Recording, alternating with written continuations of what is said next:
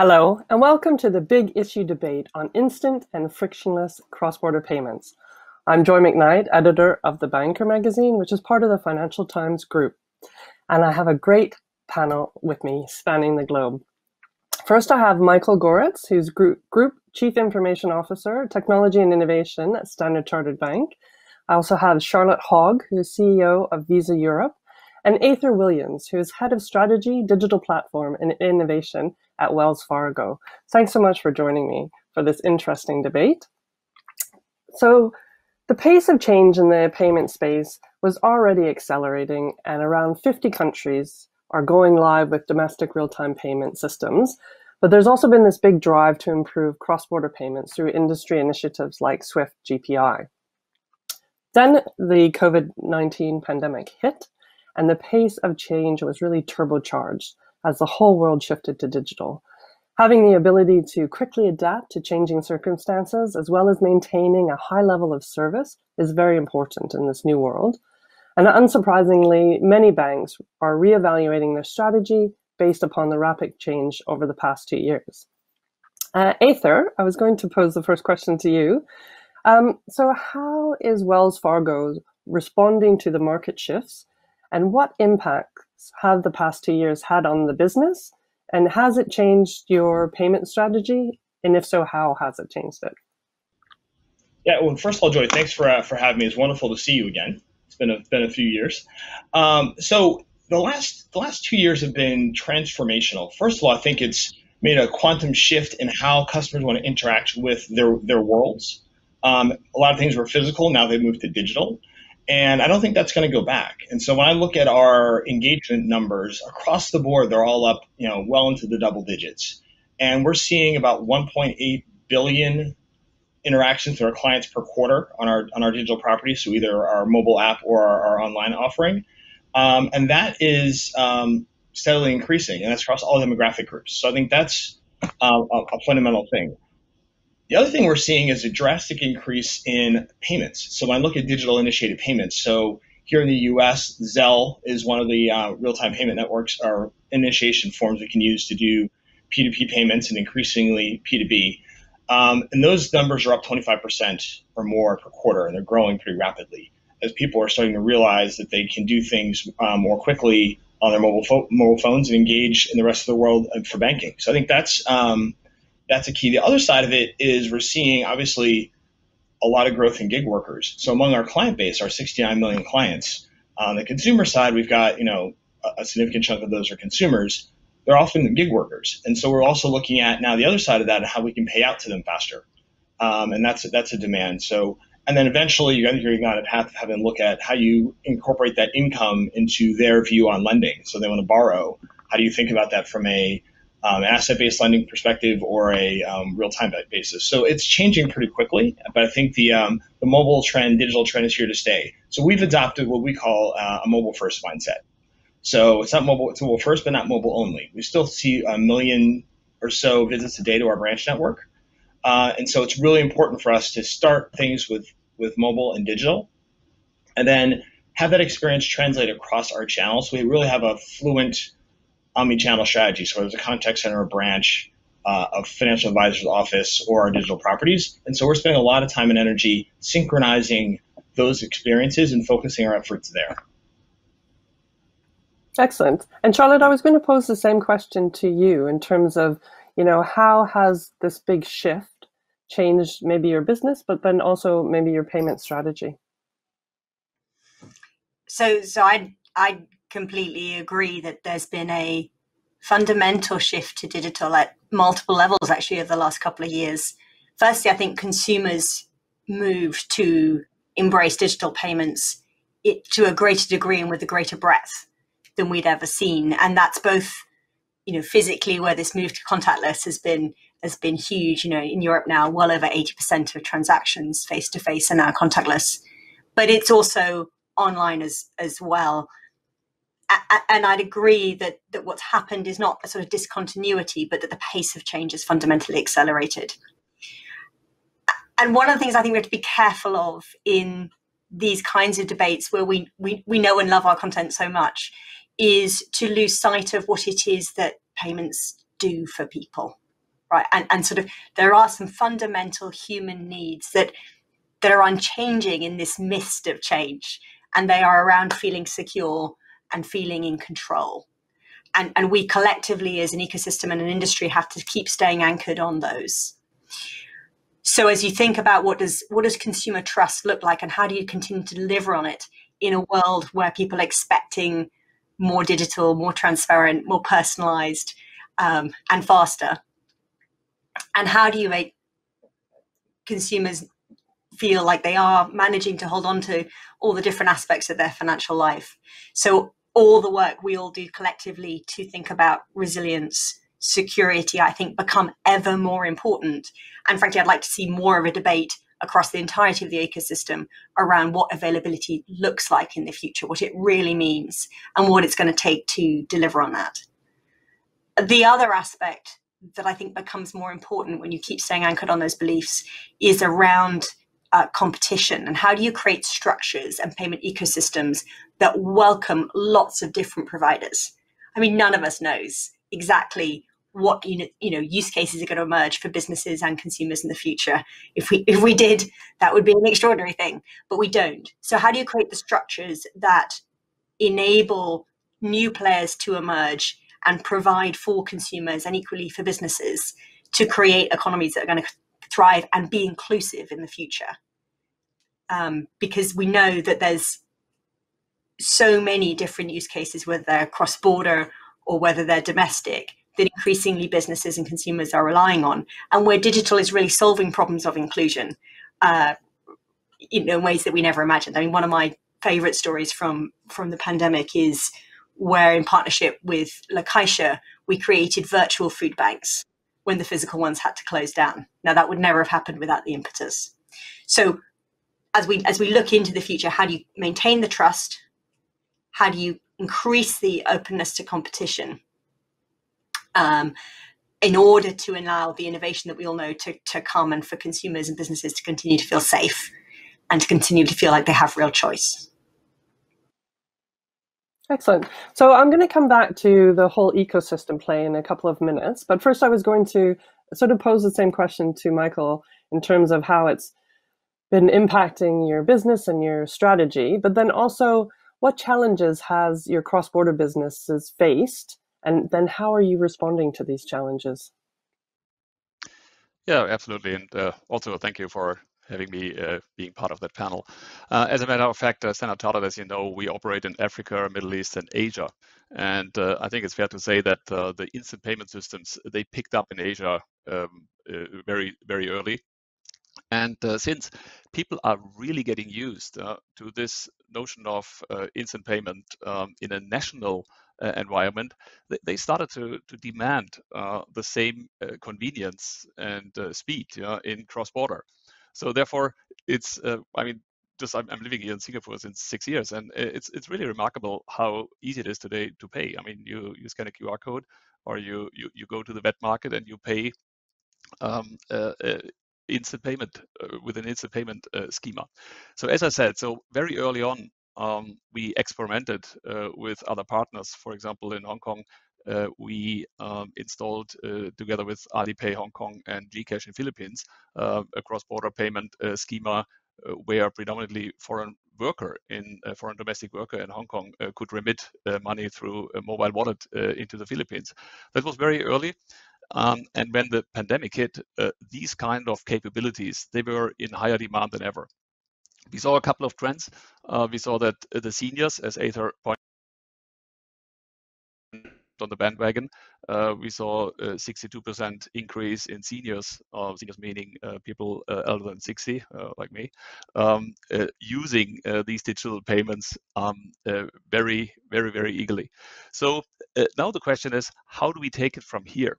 Because the business is demanding uh, solutions uh, which are easy and which span uh, the whole variety between uh, retail and wholesale. So for uh, how did it change our strategy?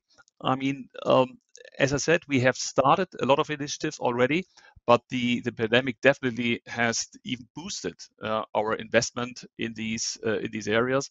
And uh, well, I'm happy to report that we roll out our new uh, cloud-based uh, payment system in all of our footprint countries, which are 59. Um, and we are also improving the interface to our to the treasury, the corporate treasurer, so that all means of payments uh, in an international uh, environment uh, can be integrated or are integrated through one window of one pane. So that's that's the thing we are working on, and it's very exciting. Yeah. Excellent. Um, and then, Charlotte, I was going to come back to this idea of building the ecosystem. Um, what has the last two years, in, you know, how has the last two years impacted your acquisitions, but also collaborations and partnerships? And you touched on a few of them already. Um, but again, looking forward, uh, where do you see these really playing a role within your business? I mean, what's been what's been sort of one of the unsung heroes of of uh, this last couple of years is the degree of innovation that there has been, and then and the multitude of, of of different types of services that have emerged to particularly bring small businesses online.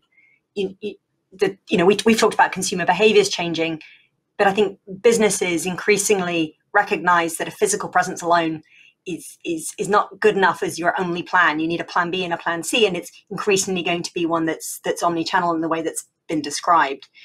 Uh, so the the level of of innovation about you know that enables small businesses to be brought online has been very important. Um, last year in June, we we committed globally to digitize 50 million small businesses, and I'm pleased to say we've we've we've now helped to digitize with partners uh, 16 million of those around the world. and, a, and a number in Europe. So, so that innovation and having a network that welcomes many different kinds of providers is is important. If I look back to the the old days when when Visa Europe was owned by 441 banks, kind of inevitably that kind of structure perhaps wasn't as welcoming to fintech as we as we now can be. And then on the acquisition side, you know, we are a great believer that you want to provide new capabilities to those who are participants in our network. Uh, so whether it's the announce, recent announcement of the acquisition of Currencycloud, um, or the or the equally recent announcement of of the acquisition of Tink, that's all about providing new services to the participants in our network. And and Europe, of course, is the epicenter of, of open banking with you know 400 players now making use of, of APIs in different forms as AISPs or PISPs.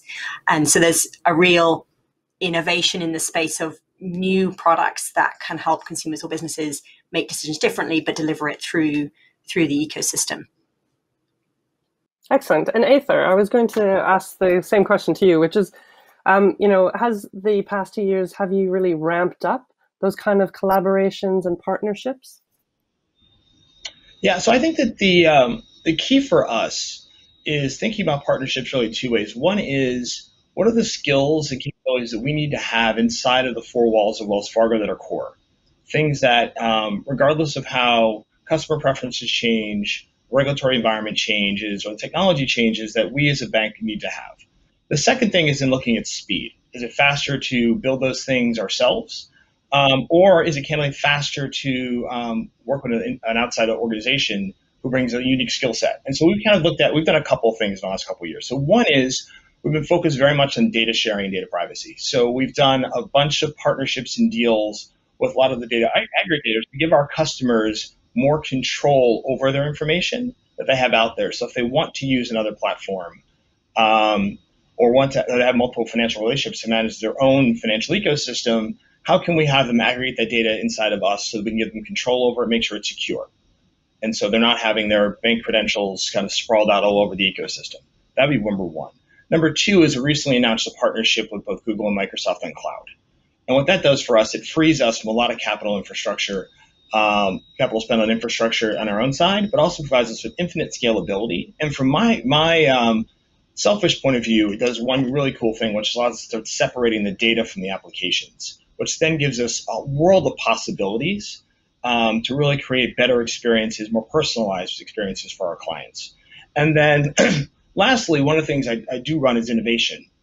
So outside of the traditional use of APIs in the large corporate space, we are uh, in our lab, we have a bunch of things going with a few partners to embed our capabilities inside their experiences, which is where I think this whole thing is seems to be going Whereas, you know, in the ecosystem, um, banks are used to people coming to us. You're doing what you're doing, and then you go to your wallet to pull out your card, or you go to your phone and tap, or um, in the case, you know, you your checkbook or however it is, you go back to the bank. But now we find that people want to be in the flow, and so that's changed with things like Uber, where you're kind of doing your thing, and then payment just happens on the back end, which is a combination of all of us on this on this panel, sort of working together to make that happen. So how do I think about our capabilities to embed um, the ability to people to see their balances, to make a payment, to borrow money, uh, to manage their investments into what they're doing. So whether it's buying a home, renting, you know, renting a car, uh, or shopping online, and so that's kind of the place we're looking at. How can we enhance those capabilities to really allow our clients to work in their ecosystem who can be there with them, whether it's physically at a point of sale via wallet or an API and, an, and a digital experience. Uh, so, Michael, again, how has the past few years really impacted the idea of ecosystems, your collaborations, your partnerships, um, and acqu- even acquisitions? And then has that actually um, changed via region? Yeah, as I said, um, we basically accelerated our our uh, total journey into uh, the payment space. Uh, while we were experimenting in the beginning with, as I said, with um, Alipay Hong Kong or with GCash in Philippines, uh, we very early on had a uh, in 2015 we started. Um, a partnership with Ripple, where we um, experimented, or actually give more than an experiment, we, we give uh, possibilities for our corporates to do cross-border payments. But um, it, now, and in Africa, uh, we have the mobile wallets, which are pervasive over there. So very early on, uh, we had a lot of interaction uh, with um, uh, the mobile wallet providers um, in Kenya and other countries, uh, how to connect uh, corporate payments into these type of new payments. So when the pandemic obviously broke, this accelerated. And, and, and, simply, we were looking um, for more partnerships who, who could actually help us uh, to uh, to give the give the best service and convenience to our clients. So what we had to do is uh, to um, make the foundations internally.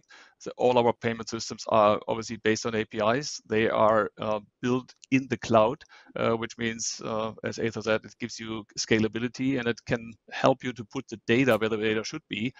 And then obviously the extension to the outside uh, is uh, the partnerships uh, which we um, are continuing to uh, invest in. So the recent investment which we made was in a, a joint venture with a partner, um, um, AssemblyPay in Australia, and uh, there we merged with CurrencyFair uh, in Europe, which is a cross-border payment specialist. So there are many smaller activities uh, which are going on, and uh, but the uh, the the whole strategy is go full steam into uh, the payment space because that's it. That's what our customers want and what they what they expect as part of our service portfolio. Excellent. Um, so I'm going to go on to another sort of big industry change which is happening. This year marked the start of uh, the migration to ISO 20022 standards. Uh, and while the original deadline uh, for migration was delayed by about a year to November 2022, the industry has already started to prepare for this big change, which is really considered to be, with all the people I speak to, they seem to think that this is really essential for the modernization of payment systems across the globe. So ISO 20022 messages will provide richer and higher quality structured data, which can eventually lead to new solutions, an improved customer experience, and an overall reduction in friction in payments. Uh, and obviously, data plays a really important part in payments. So let's sort of explore that area. Um, Charlotte, uh, what innovation do you think will result from the move to uh, these new standards, ISO 20022? Well, if I may express a slightly contrary opinion, uh, I, I do think one shouldn't assume that you've solved every interoperability just because you've got one standard and in fact, every time I think you go down the path of a single solution, uh, and it's a technical solution, my guess is that we're in the wrong place. Because by doing so, you're beginning to create single points of failure in various ways. Interoperability is a really important issue, but it happens at multiple levels.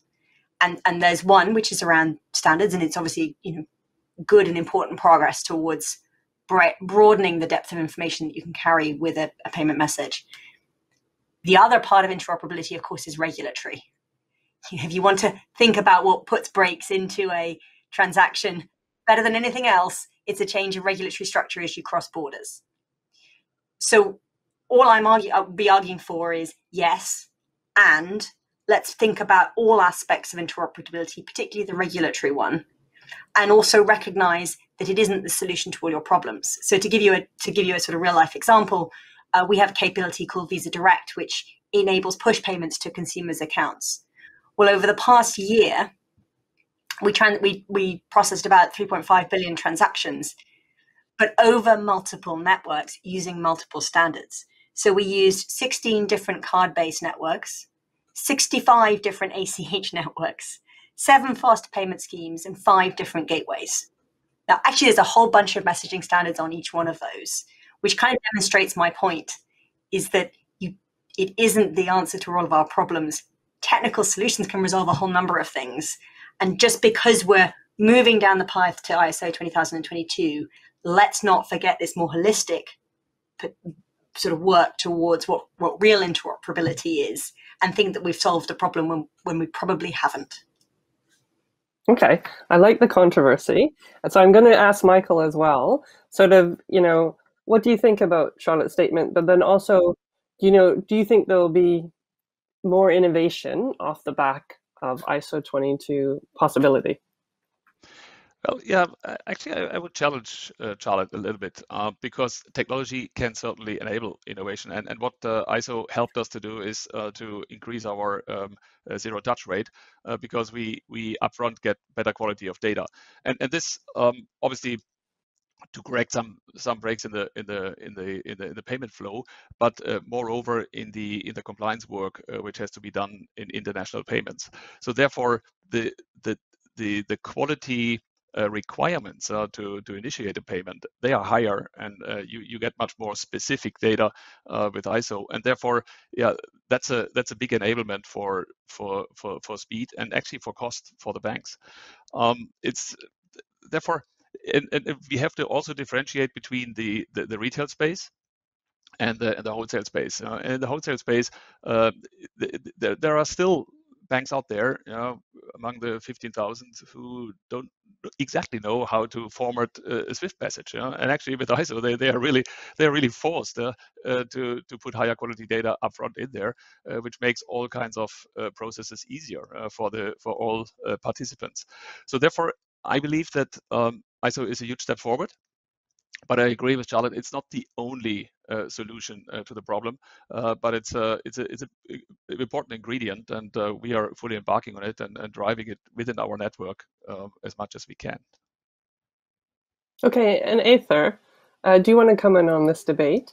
Um, but I also want to talk a little bit about, you know, in terms of using that data, you know, in the future role within your business. Um, and then where can data really be leveraged to the greatest effect? Yeah, so it's actually an interesting conversation. So I think that we, you know, the ISO standard is sort of an acknowledgement of a problem that's been going on for multiple decades. And having spent the bulk of my career in transaction banking, covering the, the wholesale side of the of the bank, um, it's a problem that you know treasurers and CFOs have been griping about for decades. That you know, why is it that my payment comes in here and the information about what I got paid for comes in somewhere else, and there's a huge reconciliation reconciliation problem. So the first thing, obviously, is, and we've launched some products and others as well, where we can help clients auto reconcile, and I think that's going to be, you know, a step one. But also, what it does, it's going to drive um, a lot of the benef- beneficiaries of payments, particularly on the corporate side, to sort of set their systems up so they can actually handle the data so on the ERP side, which I think gives us some huge opportunities. Um, but we're sort of looking at it um, almost taking a, a, disruptor's mindset and saying there's a lot of complexity in sort of ISO running through the entire stack of what Swift does and everything else. And so if we were going to be a third party coming into the space saying this is insane, how do we make this cleaner? You would challenge sort of the core beliefs we have, and you would come at it and say, well, one, there's too many parties involved. And so, to Charlotte's point, you know, there's multiple layers in this in, in here, and there's large banks and small banks, and there's regulatory regimes. And how do you simplify all of that? And how do you get to a world if you're using a distributed ledger? How do you get to a world where you have a smart contract? and the payment and the contract terms and all that auto reconciles and gets and flows you know instantaneously versus the multi-step process we have today.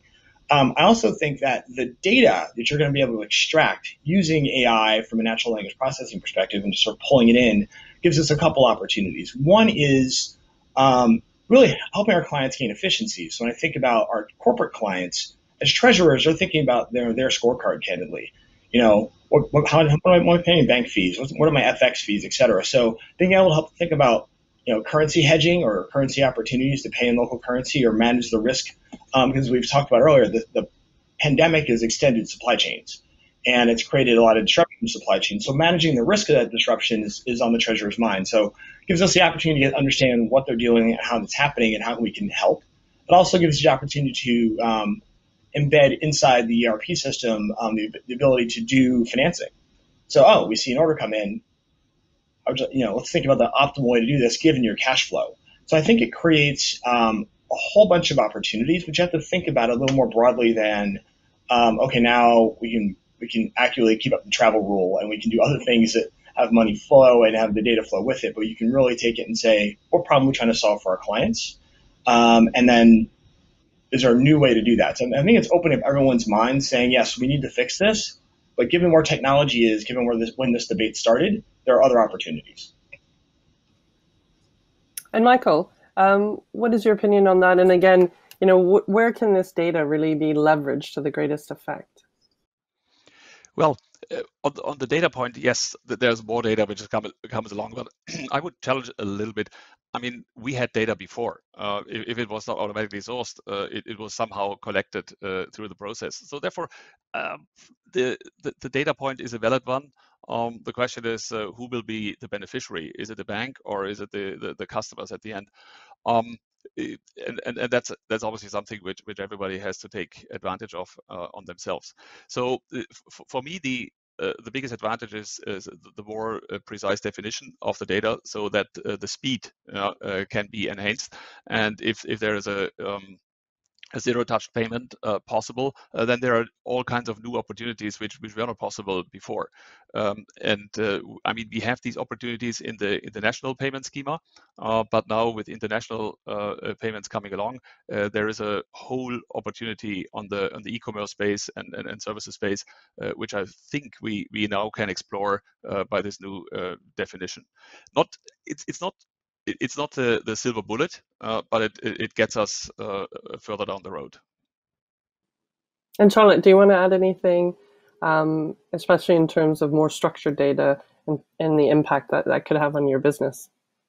Well, maybe to tease out what's what what I think is being implicitly said is there's there's many different types of customers for a payment who want different things at different times. And yes, retail is different from wholesale, but even within retail, you know, I want something different when I'm paying for petrol at a gas station than when I'm walking through um, onto a metro and it needs to be unbelievably fast. Otherwise, certainly in London, someone will throw something at you. You, you, you want different things at different times, and we all need to be able to recognize that. I, I, there's a nice description I've heard that you know there's a money transfer. We just take things from A to B, and there's a payment, and that's when you add value to that money transfer in the way that the customer wants and that might be you know real speed. I mean i eh, you know we think about authorizing in milliseconds. When we talk about instant payments quite often we're talking about five seconds a thousand times slower. Both of these are important but they're important at different times to different people. So part of what we're teasing out is a recognition that there are many different kinds of customers.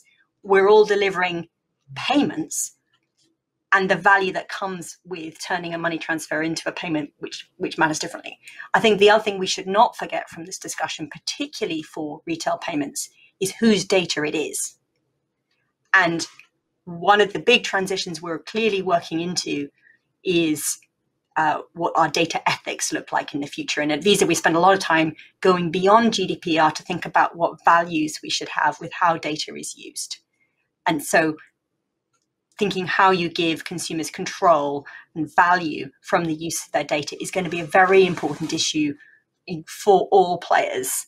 And, and we need to, I think, call that piece out as well. Okay, great. I'm going to shift gears a little bit uh, and move on to uh, specifically cross border payments. Um, obviously, um, there has been a much of an increased focus by both central banks and public sector on improving cross-border payments. Uh, and obviously, the main challenges have been identified as high cost, low speed, limited as- access, uh, high complexity, and insufficient transparency. So the G20 made enhancing cross-border payments a priority last year, and that's going to continue. And the Committee on Payments and Market Infrastructures, or the CPMI, and the Financial Stability Board released a roadmap last October to reduce the friction in cross-border payments, which served as a, I think it was a real push to the whole industry to take another look at this challenge. Um, so, Michael, um, what are current take- takeaways from that report for you? Uh, and then also, you know, what have been the key changes on how you operate your business? Well, uh, first of all, by by that report and by by the initiative, we, we see a whole lot of projects uh, coming across, mm. and and these projects are um, have all all forms and shape. Um, I, I, think I, I, talked about already the um, the instant payment systems, and uh, especially here in Singapore, uh, we we have one launched already. So there's possible uh, as a retail customer to pay with your instant payment system here in Singapore, uh, a merchant in Thailand, or the other way around. Uh, I mean, uh, that's obviously good for for e-commerce, but it's even better if you uh, uh, have vacation, if this is ever possible again, in Phuket, and you can really pay your your, your dinner with an instant payment schema, which you which you loaded on your your phone here, or the other way around. the, the the, the similar initiative uh, has been announced by the uh, central banks actually last year, between, uh, last week, uh, between UPI, uh, the, the Indian uh, Reserve Bank of India, and Singapore as well. So these are the, the two initiatives which are just ongoing. And, and, and show where the market is going. But there are many more. I mean, we, we have the initiative on the crypto uh, on the crypto side, uh, where where people try to to use cryptos, either stable coins or uh, central bank issues coined uh, to um, to do cross-border payments. And then obviously everybody knows uh, Bitcoin has been around for a while, uh, which enables cross-border payments. So for us, the big question is which of these technologies and which of these providers will prevail? We don't know.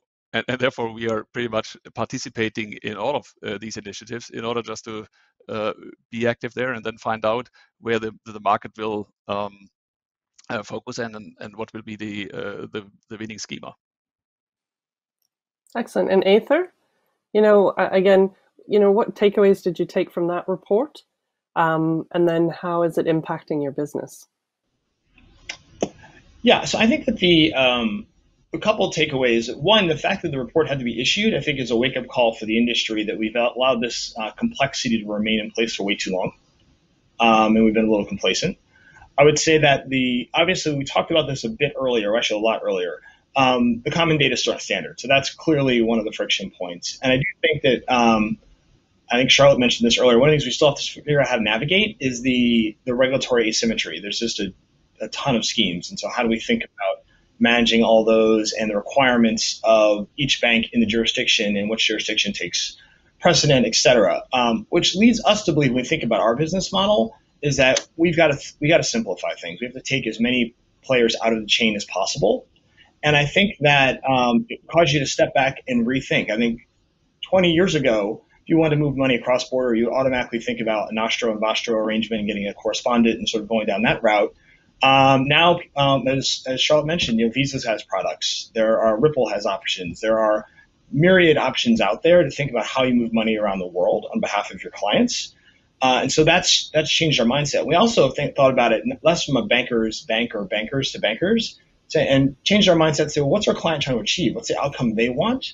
They don't really want to know how the sausage is made. They just want to get the money there, how they want to get it, when they want to get it, and what information and what, at a certain price and certain currency pair.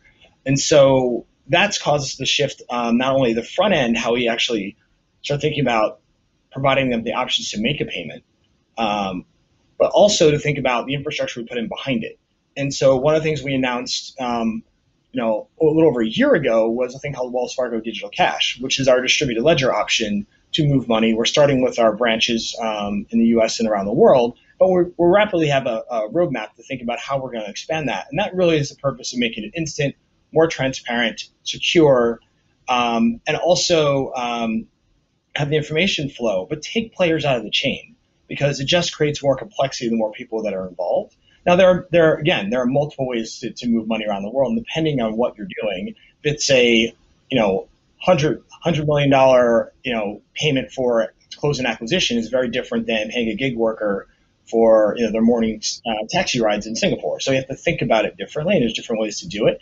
But I think simplifying the front end for what the client wants to do, and then thinking about the different avenues to the point Charlotte made about the money movement and the payment being different, meaning settlement and then what information enhances that, you can think about the different rails and sort of put that complexity behind. So it's, it's, it's reset our mindset from instead of having the customer think about, oh, I want to send a wire or I want to send a real time payment or I want to send, you know, an ACH, to think about they just want to make a payment and then let us manage the infrastructure on the back end. Okay.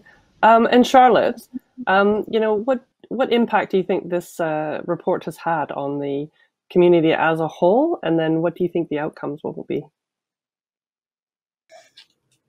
I mean, I think we welcome the work CPMI has done ac- across quite a broad number of fronts, actually, and and the benefits it has both for cross border and for uh, domestic by virtue of pushing into issues like res- resilience and availability.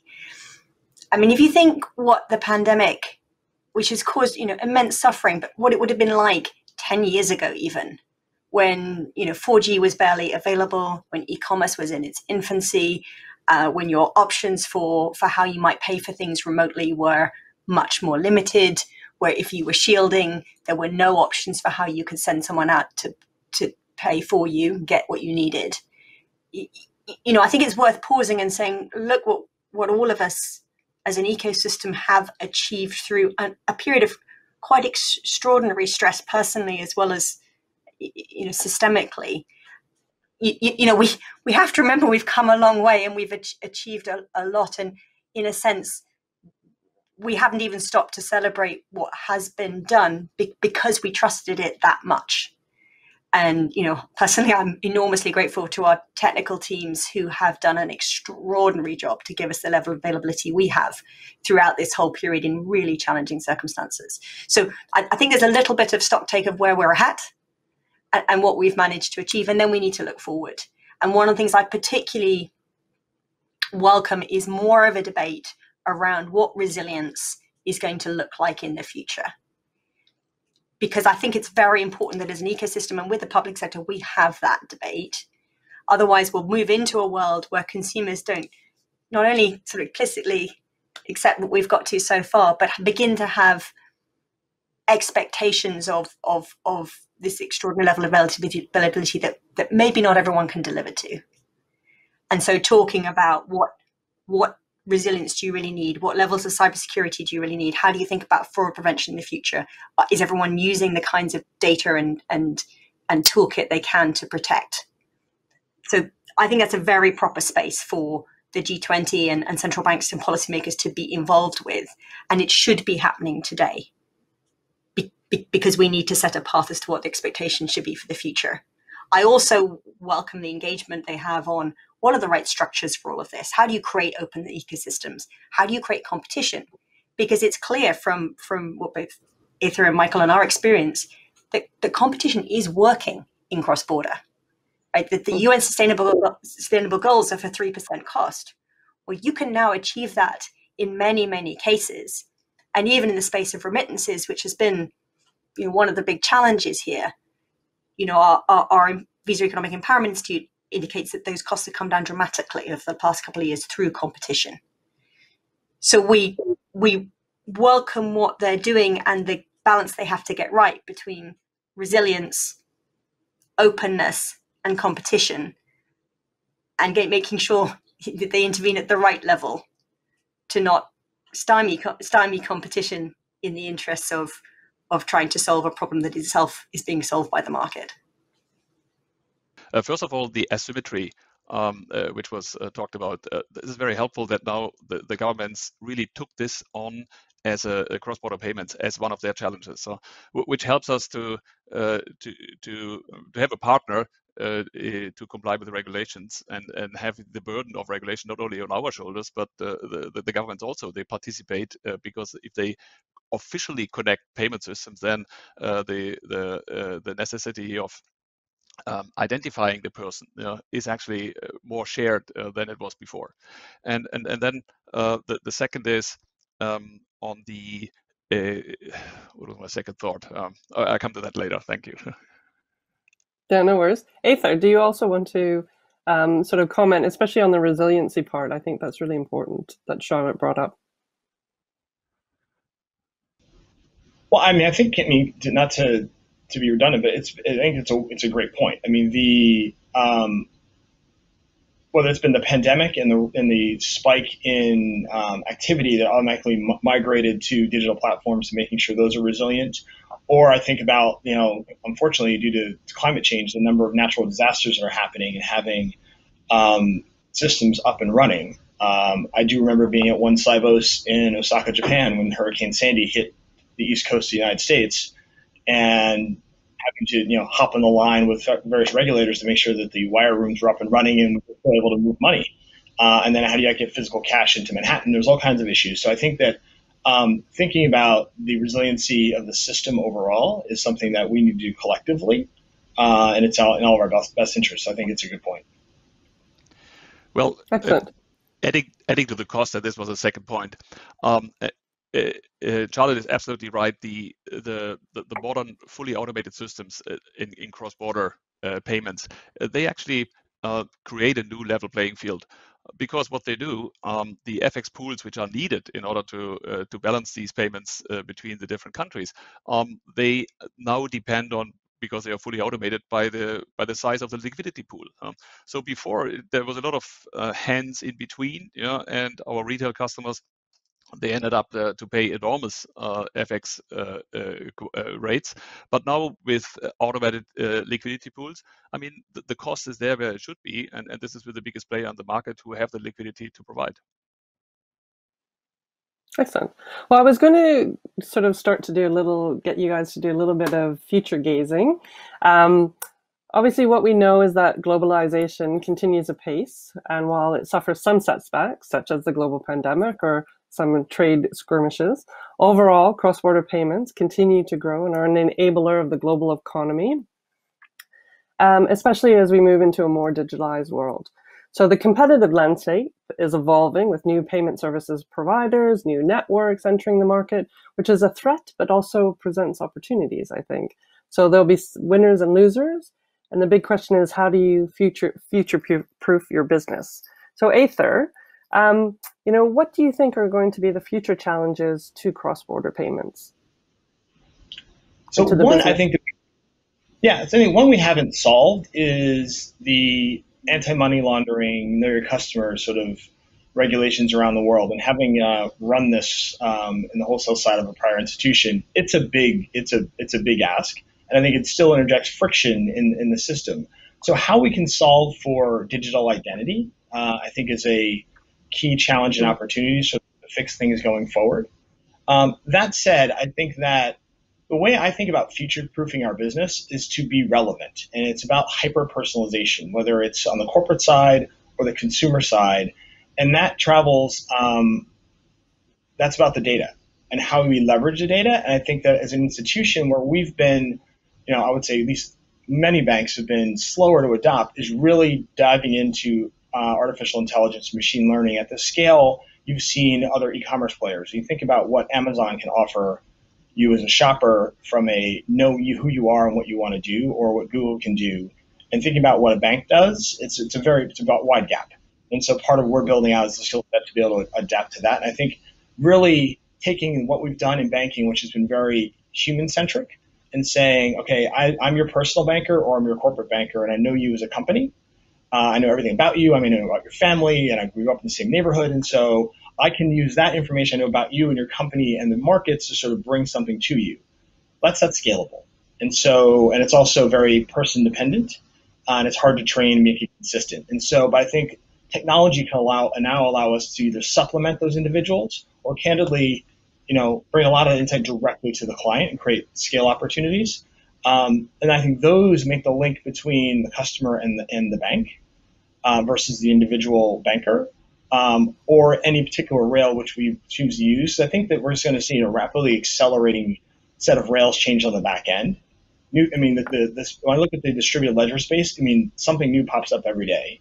And then whether it's some new form of cryptocurrency or the current raging debate around stablecoins uh, and central bank digital currencies, that's all going to continue to, swirl. It may land somewhere. But if you can cement that relationship with the client, and the more they do with you, the more you know about them, the more you can do for them.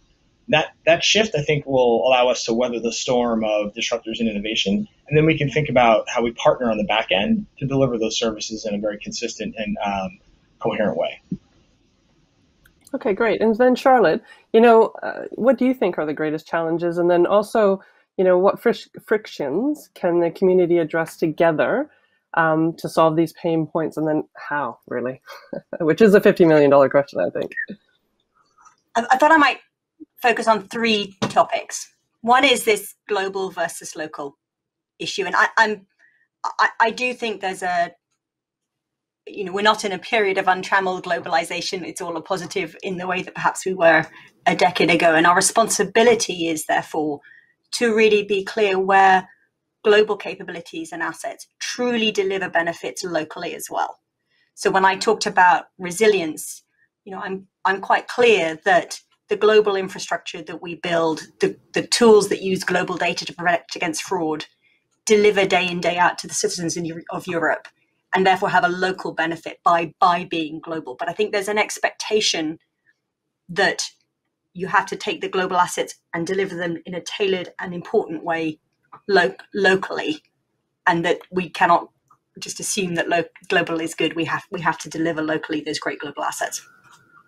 I think the second big topic is how, in a time of change, how do you create the structures with private and public organizations that enable innovation to happen, but that for consumer needs to continue to be met in a good way. And in, in a way, I think there's sort of a Maslow hierarchy of payments. And if you remember the bottom of Maslow's hierarchy, there's water, fire, air, security. What is hmm. security? And, and we need to collectively work on what is what should the expectations be and how do we all continue to deliver that by the way the next level of, of maslow is love and belonging which in my payments translation is how do you create open structures that enable new new players to emerge that solve problems and needs that we didn't even imagine, which is what you need in a period of change. So open networks, welcoming all participants. And then actually the top, by the way, of, of Maslow is self-esteem. And for me, that's all the kind of cool innovations that are taking place with data. So I think there's that sort of second theme of how do you create the right structures in a period of change and the right engagements at the right level of Maslow to, to, to sort of set a path that will both create security and trust and the competition that you want to meet the needs that you don't even imagine yet. And then lastly, I think there's topics that we are going to have to engage in because they're bigger than us. One is data ethics. What really should be the set of values and how we use data, and what tools do we use, and what expectations should consumers have about that? And that is beginning to be formulated around the world, and sometimes in very different ways. Uh, and the other one is also what role do you play with inclusion and sustainable economies? You know, for me, payments do an awful lot to support the growth of economy in a digital world. But I think an expectation on all companies is they are going to need to play a role in those topics as well. So that would be my sort of three different levels. Excellent, thank you. Uh, and then Michael, what sort of three big trends are you seeing? Um, and again, you know, how do you think the community can come together to actually overcome some of these friction points?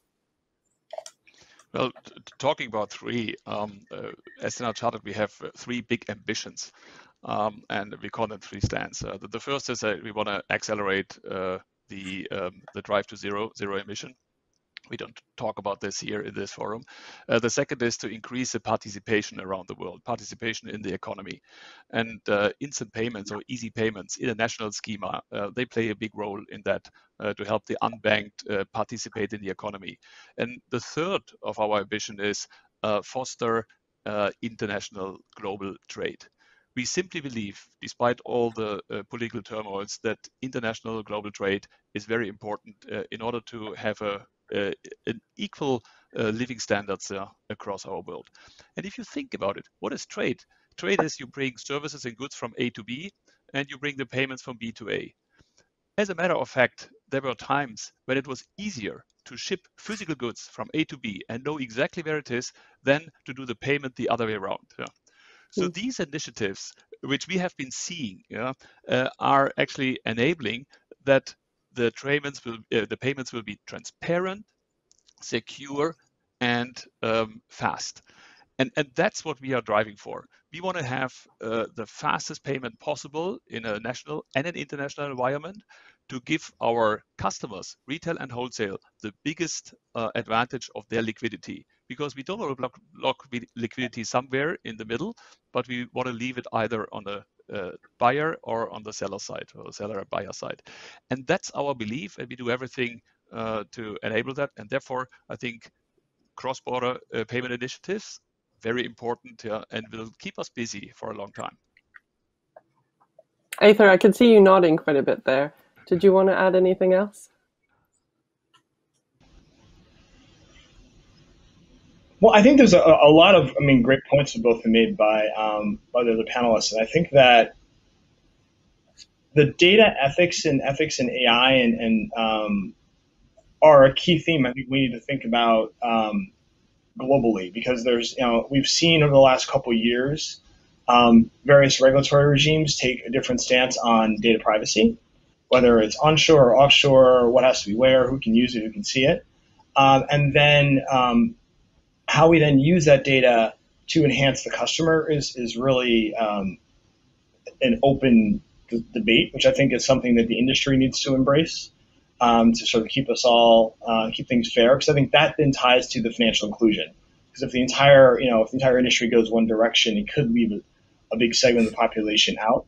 Um, and I, I, do think that the other um, point around you know climate change has been interesting. How it's sort of come in and out on the basis of what we've been talking about around um, cryptocurrencies. So there's a lot of there's a lot of there's a lot of things in there, but I think that we've got um, a good opportunity ahead of us. And the last point I would just make that for us in terms of priorities that haven't been mentioned. And again, it's, it's really driving into that embedded banking. How do we think about putting ourselves into the right parts of the ecosystem so that you're kind of when you're there physically or digitally where, where your clients are acting uh, in a way that's uh, accretive to them. And that's really sort of our, our last you know, pillar we're focused on. Excellent. And Charlotte, I'll give you last word if you wanted to add anything else. I think I think I've run out of words. I'm afraid. No, that's fair enough. It's been such an interesting. Sorry. You're probably quite grateful for that. But I have to say, it's been such an interesting debate. Um, so thank you so much, Charlotte, Michael, and Ather, for all your insights. And I hope you have a fantastic Sibos week. Thank you. Joy, nice to see you again. Thank you. Very nice to meet you both remotely. You. Yeah, sure.